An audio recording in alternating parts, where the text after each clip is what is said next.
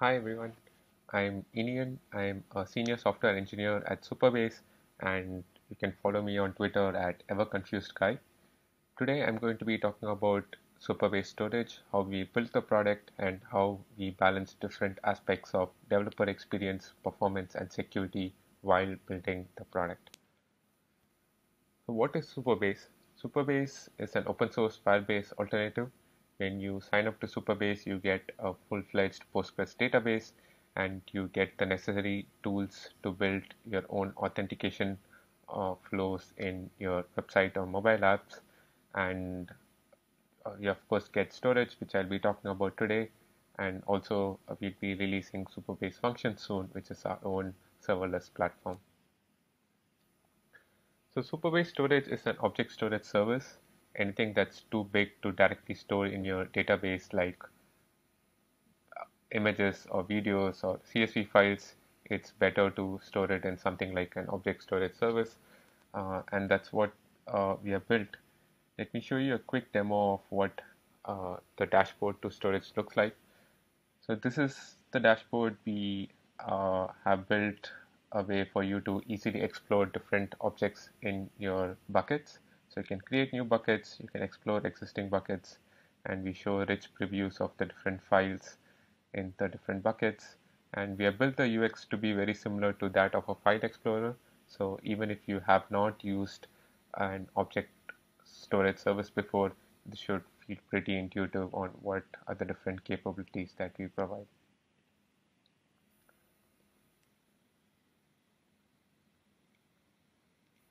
So uh, before we started building Supabase storage, we decided to list down what are the constraints that we had. And the primary thing that we looked at was how well an existing solution can integrate with the Supabase ecosystem. We wanted the storage service to integrate well with Postgres and also our existing auth solution that uh, we have built out for our users. The second thing that we looked at was to make sure that the service that we built or ended up using had a pretty small footprint. Supabase has a very generous free tier and we wanted to make sure that storage was one of the services that even users in the free tier could use and making sure it was small and efficient made sure that we could add Supabase storage as a feature to all our users. And of course, since multiple users are using Supabase for it to be efficient, we needed a multi-tenant solution and we decided that we are primarily going to be focused on digital native companies, which means that uh, as a company, we'll be focusing more on users who are using the hosted platform or even if they're self-hosting Supabase, they are going to be launching Supabase themselves in a cloud provider which means that we could use managed services like S3 or Google Cloud Storage to actually store the different objects. So in the end, we decided to build our own server, I guess spoiler alert, but before that we evaluated a lot of open source uh, middlewares like Ceph, Swift, Minio and Zenko. But the main deal breaker was that none of these systems integrated natively with Postgres we already launched a full-fledged Postgres database for our users and it made sense to use that as the data store instead of say uh, which Minio requires in multi-user mode or MongoDB and Kafka which requires uh, which is required by Zenko for its full operation. And the other problem that we had with existing systems was that they came with their own auth systems. There is no elegant way to map Supabase users, users with say Minio users and we couldn't find a proper solution for this and it didn't feel nice to sort of throw the problem over to developers building on top of Supabase and expect them to figure it out as well. So we wanted to do something better over here. And there are a lot of features which are not directly relevant to our use case. For example, features like bitrot protection and making sure that drives wouldn't fail and if a new drive is attached how to make use of that new space uh, uh, to store your objects. All these features were not uh, relevant to us because we decided to go with a managed service like AWS S3 or Google Cloud Storage to actually store the different objects. And some of these solutions were also deal breakers because uh, we found out there were limits to which in terms of the number of buckets that you could create and so on and they weren't uh, aligned with the number of users we expected Supabase to have. So this is the final architecture that we came up with. It consists of three different layers. The storage front end is the dashboard that I showed you before and the different client libraries with which you can integrate with the API server. The API server itself has an API gateway Kong which we use across our Supabase ecosystem and the API server also talks to Postgres where we store object metadata like where the object is stored, who uploaded it at what time and so on. The object itself is stored in a managed service like S3 or Backblaze or Wasabi and so on. Even though we decided to build our own object storage service, we looked at uh, prior work to see how we can better change the defaults to suit users building on top of Supabase. And one of the things that we realized is that having a max upload size of say 160 GB uh, of S3 didn't make sense for Supabase users. Most of them are building websites or mobile applications and having a 160 GB file is rarely what you need. So we decided to cap the upload size to uh, 50 MB. And another thing that we changed the default for uh, is the cache time. So any file that you upload to S3 by default does not have a cache time attached to it, which leads to very poor performance if you're using it in your mobile apps and websites because the client has to revalidate with the S3 server every time uh, if the object has changed or not. For Supabase, you get a default cache time of one hour, which you can of course change uh, when you upload the object to a different time depending on your use case. This is an example where we try to balance performance and developer experience. When we started building Supabase storage, this is what the simplified version of the schema looked like. Uh, we had two tables, buckets and objects. Each of them had a UUID and the objects table contains a foreign key to the buckets table. But we realized the most common access pattern did not really involve the UUID at all. It directly involves the name of the bucket and the object name. And this also leads to inefficient queries because every time someone accesses slash avatar slash grumpy.jpg, we need to join both of these tables to get the relevant row in the objects table we decided to just use the bucket name as the primary key for the buckets table and dropped the UUID com completely. This made it easier to write queries which just use the bucket name and it's faster because you can get the relevant row by just accessing the object table.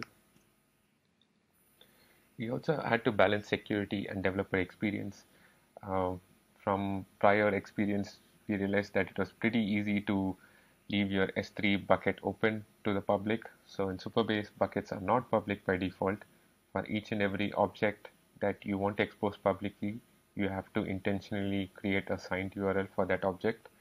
Uh, this makes it harder if you just want to host your website uh, on Supabase and if you want to make the entire pub bucket public. Uh, so at some point we might expose a way to make this easier uh, to make the entire bucket public but for now you need to create signed URLs for uh, every object that you want to expose publicly and this makes your intention very clear as to whether you want the object to be public or not. Another decision we had to make was to where to store the object metadata itself. So we could either store it in our own internal database which we don't expose to the user or we can store it in the Postgres database that we provision as part of every product project that the user launches.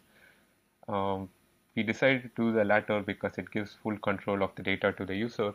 So even if the user wants to self-host Supabase or move to a different provider, he has full control of the data.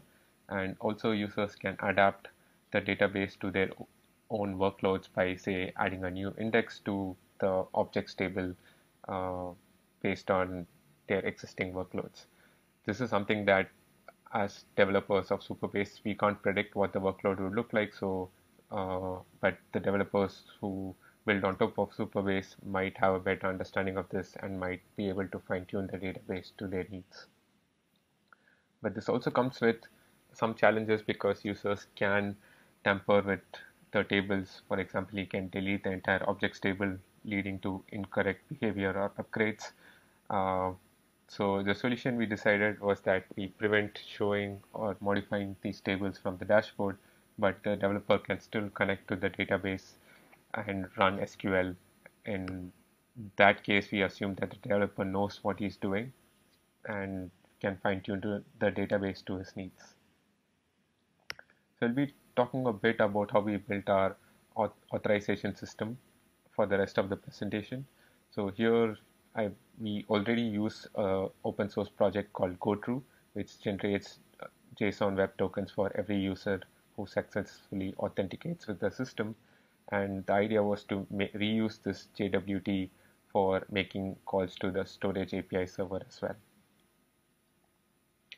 And this is how authorization policies look for other systems like Firebase or AWS S3 if you have written policies for these systems, these might look familiar. But the main thing that we wanted to do was to see if we can reuse an existing language like SQL and not build another DSL or domain specific language to write these policies in. This makes it faster for our users to get started because there's one less thing for them to learn. And the, before I get into how we achieve that, just give you a quick intro to Postgres row level security if you haven't used it before. So using row level security, you are able to attach policies to different tables. So for example, here I'm attaching a policy to the users table for uh, the select statement where users are only able to select rows which have the ID belonging to the current user. So for example, even if a user comes with an ID 1 and if he tries to do select star from users, only the first row is returned uh, because that row has the particular ID belonging to that user. And similarly, RLS policies can be added for other uh, CRUD statements like update, delete, and so on. And the main insight here was to that we could reuse these row level security policies and we, it can be mapped to the permissions required to make an API call. For example, if to find out if a user has permissions to upload a new object, we just see if the user has the permission to insert a new row in the objects table. And if he has that permission, we let him upload the object as well. And this can be mapped to other CRUD operations in a seamless way too. So this is an example of an actual policy that you can write on Supabase storage. This uh, policy applies to the objects table and it checks for uh, for a particular file name called profile slash grumpy.jpg and it allows the user with UID1 to uh, do all CRUD operations on that particular object. So the advantage of writing policies in this way is that it's just SQL you get the full power of SQL, all the internal functions, all the helper functions that we have built like file name, folder name, uh, extension, and so on. And also you get the helper functions in the auth schema like UID, email uh, to make use of while writing your policies. And for users who do not have much experience with SQL before, we are also building a GUI into the dashboard so that it's easier to get started with these policies. There's another key piece of the solution which made it easier to build the authorization system this way, and that was PostgREST. So PostgREST is an API server which exposes a REST API on top of your Postgres database, and postgrest-js is uh, the client library which we built to interact with PostgREST. And say if a user comes and he wants to list all images in the folder, the easy way to do this would be to just instantiate a new PostgREST client as that user. And we already get the JWT token from the user and we can inst instantiate a PostgREST client using that JWT. And this lets us assume the role of that user and any further database operations that we do would be done as part under the user's role. So this lets the storage API server switch roles between different users easily and carry out operations which solve the problem in an elegant way. We also wanted Supabase storage to integrate well with the rest of the storage ecosystem and we wanted to see what other storage backends developers wanted us to integrate with and we created a GitHub discussion for it. People responded everything from Google Cloud Storage to S3 to even IPFS. And the way we solved this problem of integrating with different storage backends was that we decided to target the S3 API first. We realized that a lot of existing storage backends already target S3 and this makes it easier to add new storage backends in the future and our existing API surface area also just consists of these six operations. So even if your exist your storage backend doesn't support the S3 API, as long as you're able to re-implement these six operations, it should be easy to expand support to that backend as well. Finally, I also wanted to talk about designing the client APIs. So this is what the PostgREST API looks like when you want to read data from the table. And this is what our initial uh, API for the storage looked like. This had a few different problems. One was that it wasn't obvious that all op API operations have to be scoped to a particular bucket. And we realized that by changing the API to something like this, it's much more obvious that all API operations only happen at the bucket level. And it also matches the Postgres syntax loosely, which was an added advantage. So that's it. That concludes my talk. Uh, hopefully you got something from how we balanced developer experience, performance, and security, and how we made it easier for developers to get started with Supabase storage. Uh, you can find me on Twitter at everconfusedguy, and you can find out more about Supabase at supabase.com. Thanks.